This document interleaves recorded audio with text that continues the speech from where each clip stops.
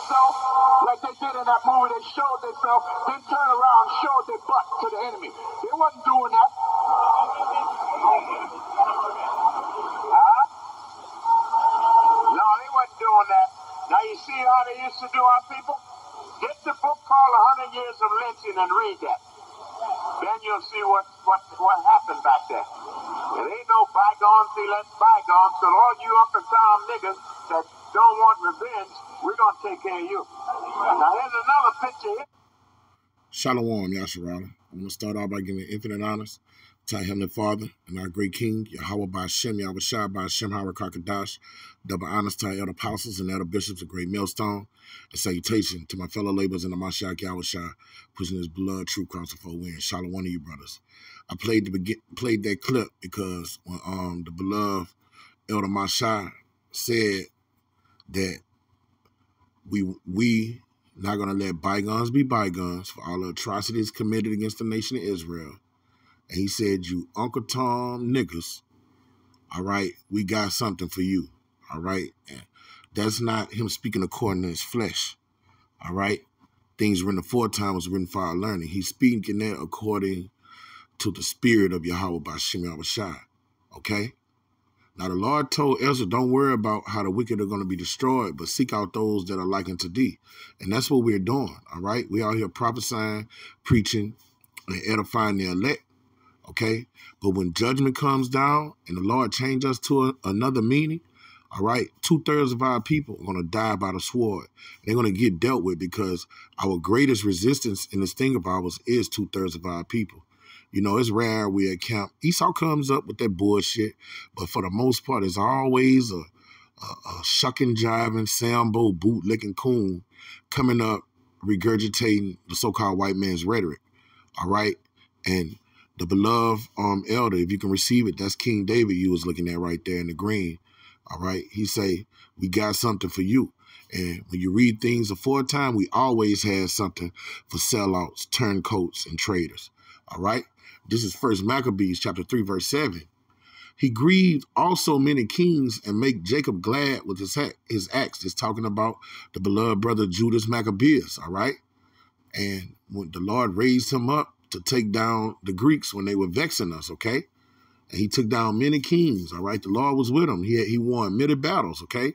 And his memorial is blessed forever. And, hey, the things he done uh, is is been uh, a memorial all the way down to us. All right, we read his valiant acts in these two books. Okay, there's a uh, the feast of dedication. All right, he is the one commemorated and um, implement implemented that into our customs. Okay, so what it, the Lord gave him the power to do in those days, he he he went up against Greece. All right, the spirit of the law was with him, and he took their asses down. But this also what he did.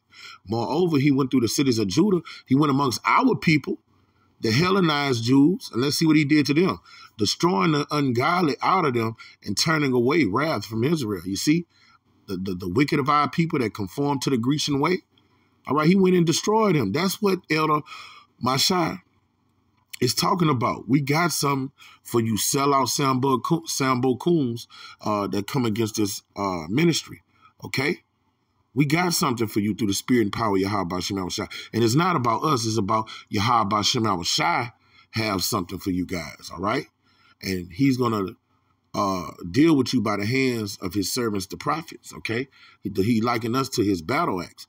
This is the book of Amos. Um, this is not going to be long. It just, when the brother said that, you know, man, I can't stand a nigger, man. I can't stand a nigger.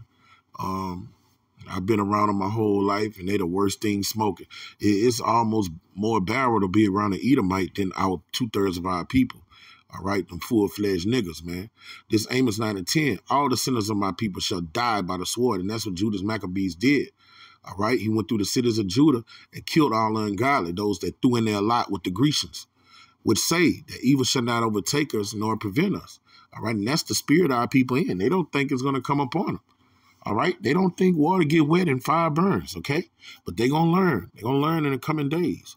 Every time they say an idle word against his servants, the prophets, when we're out there teaching in the spirit of power, Yahweh Shema All right. For every outer word they've said, they're going to get judged. All right. The Lord have angels uh marking their asses. Okay. This is uh Second Chronicles chapter 15. I'm gonna start at verse 12. Okay. And it's written, and they enter into a covenant to seek the Lord, the power of their fathers, seek Yahweh Shema the power of their fathers with all their heart, with all their soul. And that's what us brothers are doing right now, all right? That's why you see us out there prophesying, you see us out there uh building up the elect, okay, building ourselves up, seeking the Lord where he may be found. All right. That's what the church is doing right now. All right. We're in that same covenant that they were in the ancient world. This is what the elect men did in the ancient world. And that whosoever would not seek the Lord, thy power of Israel shall be put to death, whether small or great, whether man or woman. That's what that brother talking about. Got something for you, Uncle Tom's. All right. Death gonna wait y'all asses. All right. It's a terrible thing to fall in the hands of Yahweh Shema Shah. It's a terrible thing to reject his servants, the prophets. All right. The Lord has commanded us in the book of Sirach that you're supposed to revere his priests, man. Okay? And if you what happens when you don't revere his priests? All right, I don't know exactly where it is, but we could find it. Okay. I know it's an apocrypha somewhere. All right. Um, where is it?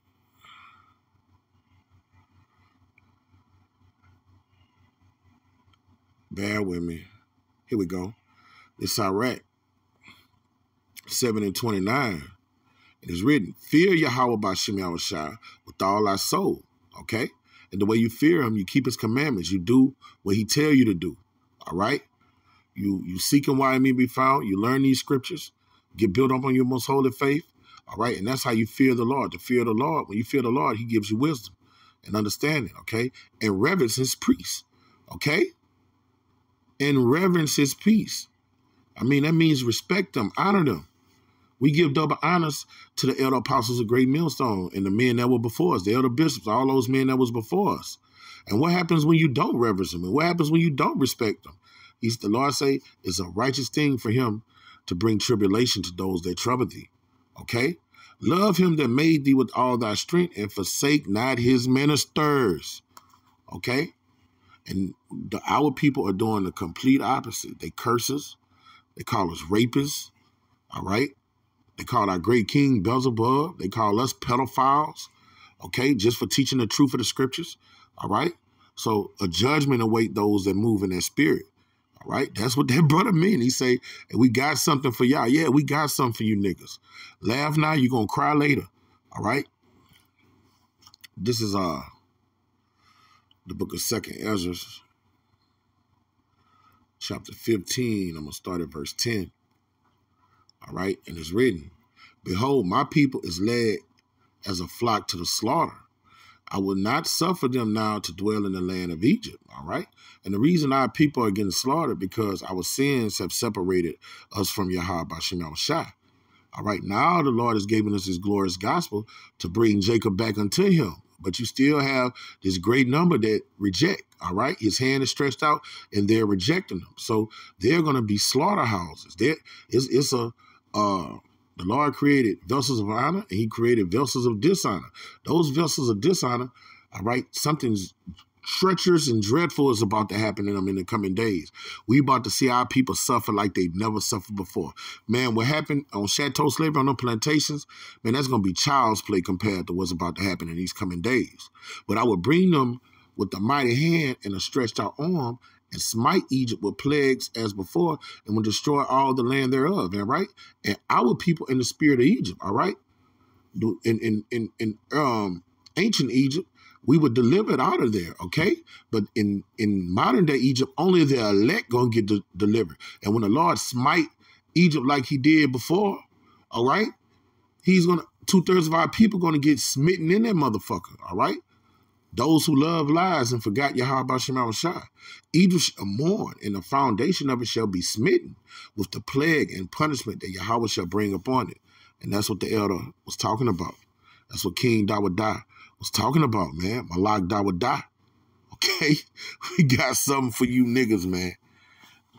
We got something for you niggas. That's why we working out our own salvation for fear and trembling, because we don't want to be on the opposite end of that judgment, man. Because it's coming. All right? This is uh the book of Jeremiah. And um through the terror of the Lord, we persuade men. That's what we doing. We know how the Lord get down. We out here persuading men. We letting you know what's coming down the pipe. And if you don't reject it, take your lick. This is uh Jeremiah 5 and 26. For among my people are found wicked men.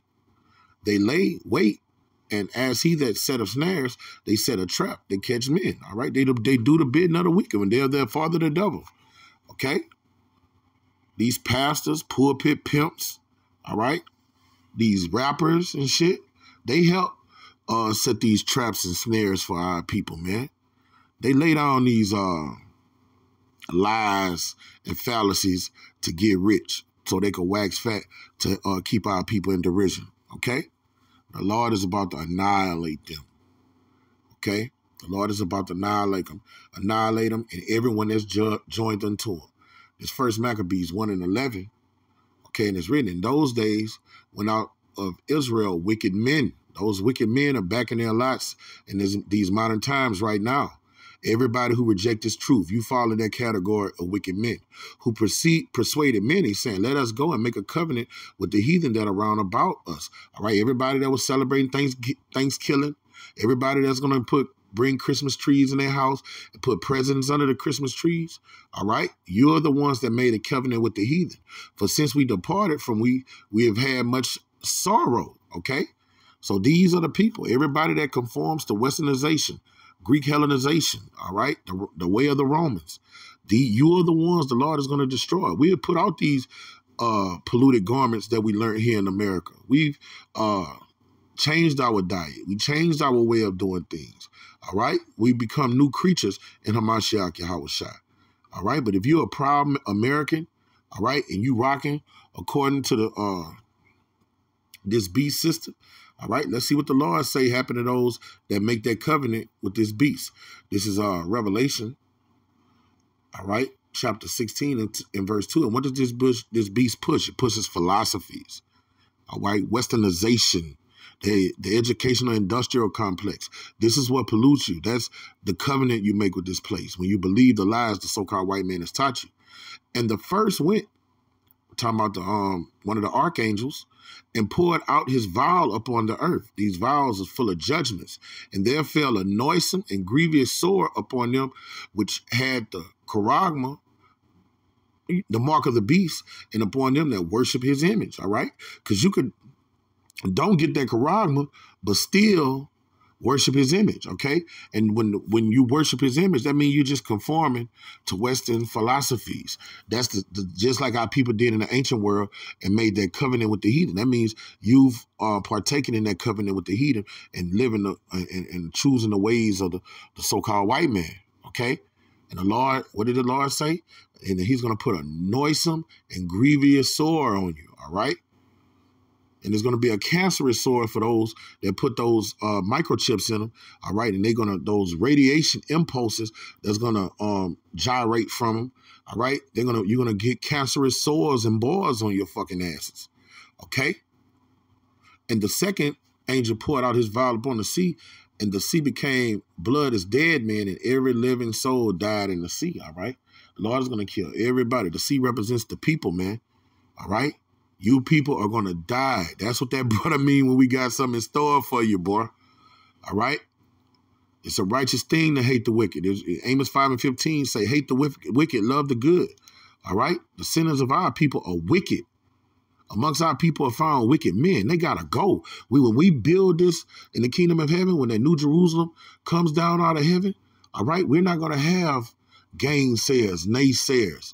All right in our kingdom. Everybody's going to be under one vibration. Everybody's going to agree. That's how you build a kingdom. Everybody has to be of one mind. You can't have one person thinking on this wise, another person thinking on that wise. All right, you got some people having a heart for the heathen. No, they gotta go.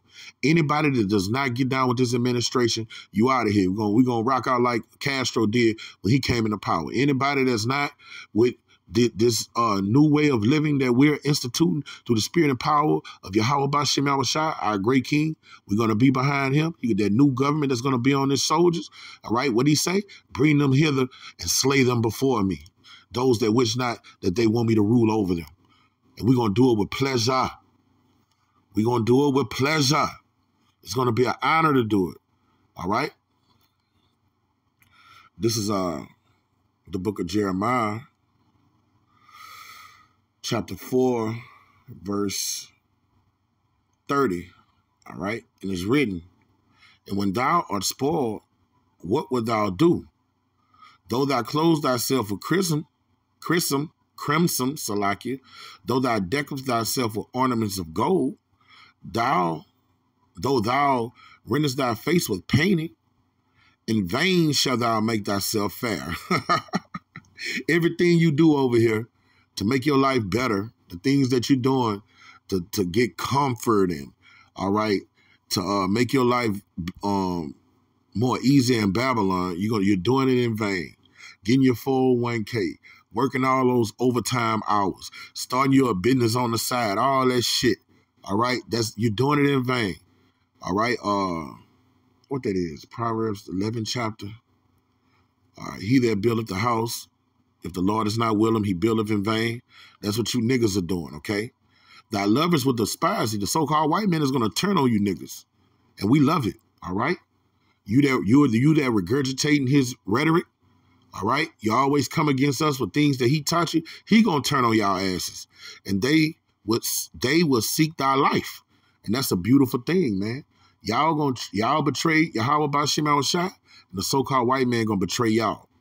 For I have heard a voice as a woman in travail, in the anguish, anguish of her that bringeth forth her first child. The voice of the daughter of Zion, that bewaileth herself, that spreadeth her hands, saying, Woe is me now, for my soul is weary because of murderers. All right? And that's what's about to happen, man. With two thirds of our people are going to perish. All right? The Lord is about to judge the wicked of his people.